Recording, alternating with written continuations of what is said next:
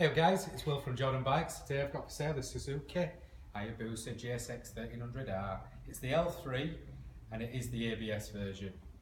It's a 63 plate and it's done 4,640 miles.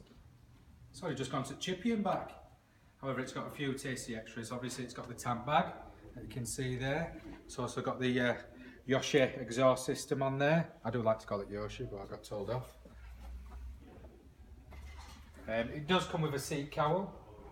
Um, however, that's in the back in a, a nice box. Yeah. So, what I'll do is give it a quick start up. It has definitely done 4,640 miles.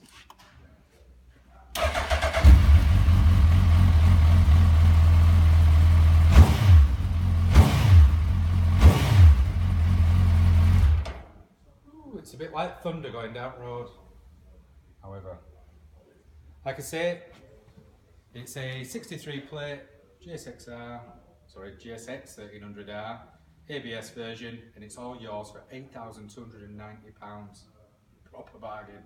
Cheers.